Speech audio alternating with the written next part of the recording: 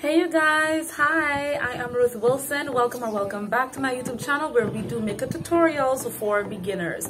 So even though in the past month earlier, I did do an all colorful look and I also did a neutral look, but those included like shimmers because you know, we just want to mix it up. But today I've decided that I wanted to do an all matte colorful look. Don't forget for our neutral makeup lovers, I didn't forget you because that's to be my next video. But in this one, I'm to show you guys how I was able to create this very all matte colorful look right here. And if you guys want to see what I did and some of the corrections that I made from the last video, then keep watching this one. hey you guys, let's go through this one. So as you can see, um, one of the things that I had failed to do in the last video, it was to uh, carve out my brows. And um, that's what I'm doing in this video but I could tell you for sure coming up right now I made sure that I primed my base. Look at that I am doing this one because I am making sure that the shadows are going to stick and it comes out nice and vibrant as you saw in the beginning. It looked really, really vibrant, really good. So now we're just going to get started. I took my foundation brush and tried to um, buff out where the concealer was just stuck there. And this is a technique that I wanted to try. It was to put some light or white setting powder under your eye where it would have been able to catch the fallout that was going to happen.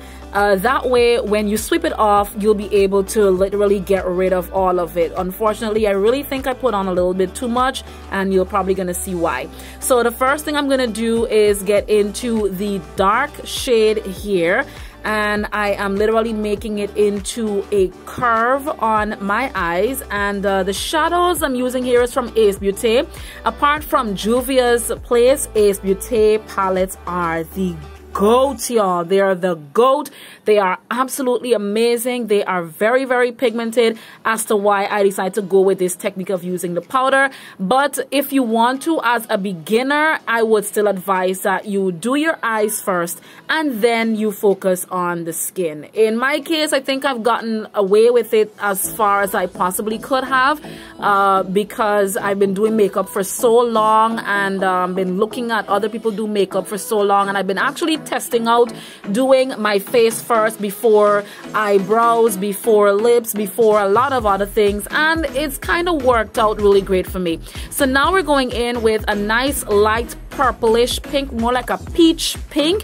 And I want to go on the top and buff out what I just did there. As you can see that the dark one kind of gave the nice uh, curve where I really wanted to put the lighter eyeshadow. It's kind of like cutting the crease but without having to actually cut the crease if you understand what I mean. So we're just basically like buffing out everything that's happening here uh, to make sure that the shadows are peaking but in the middle of buffing things out I felt like uh, the dark shadows kind of got lost somewhere in between.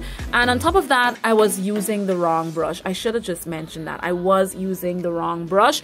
Um, one big advice I will give you here as to where I'm patting, I'm using a brush to pat in. Again, I am able to get away with a lot of these techniques. Maybe as a beginner, you might not be able to, but it'll be best that you use a pencil kind of brush that will be able to give you the preciseness that you're really looking for. But if you don't have a precise one, you know, you could still follow along this technique into using a patting brush and doing the motions that as I was doing here. Now I felt like the dark shadow was right back where I needed it to be. So then I was able to go back in with that pink and just buff out a little bit more. Feel free to go back and recorrect, go back and repat if you feel anything got lost. Now I'm to take a very lighter pink and I'm going to apply that on the area where literally have no shadow or literally was not supposed to have any shadow and I'm just going to put that on my lid. It literally looks like a gorgeous cut crease. I kind of actually like what's going on here and I know that I did purple the very first time. Uh, uh, all right, I know the next one's going to be earthy tones, but I swear, next time I do eyeshadow and you guys get to see it, I'm going to try my best to change up the colors a little bit so you guys can get to see the differences in all the colors. But the only reason why I went in with these colors, it was because of what I was wearing. So yeah, uh, that's what I'm doing right now. And I am just patting in that nice light pink. I love the dimension it's getting. You take a very clean brush, a brush that has absolutely no product, and I'm going to buff out, just just go over everything, make sure everything is well blended, make sure that everything is smooth, it's intact, and it's all good. So now when it is down to my uh, pleasantness of what I wanted originally, now at this point we are going to start to add uh, some shadows underneath and in our inner corner. Now because this is an all matte look, I really had insisted on keeping it all matte. So I went orange on the inner corner. It's not really visible right now um, i mean this is a voiceover and i'm voicing this after wearing this look for a couple of hours but i'm looking at my inner corner and it's not that visible but hey it's not a bad idea right? So i also took a deeper orange and i placed that underneath my eyes and I'm gonna go a little in depth with that and then take a fluffier brush and put some pink underneath it. Now when you see after I'm finished with that I'm going to remove the powder and you guys can comment and let me know down below what's going on here. Do you think that my under eye got a little more brighter than it should?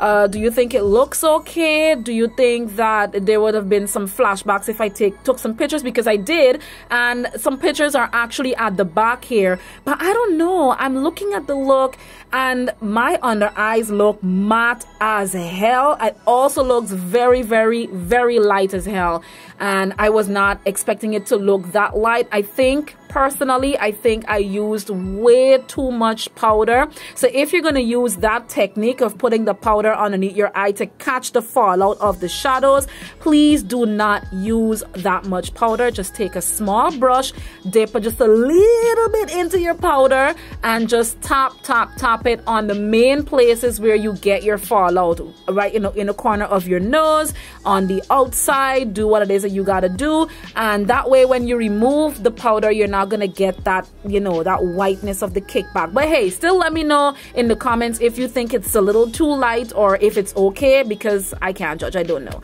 So after adding some uh, liner and my lashes this is what the look is looking like. I love it. It is gorgeous. Wait for some pictures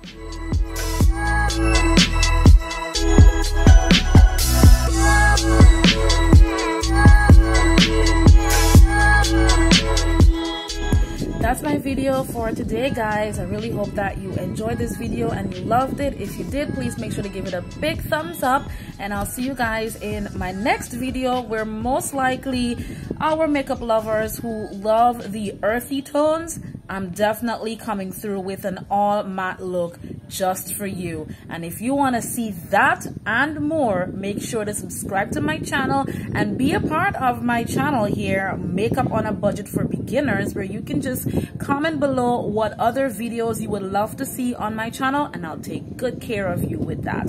So until then, see you guys on the next one. Bye!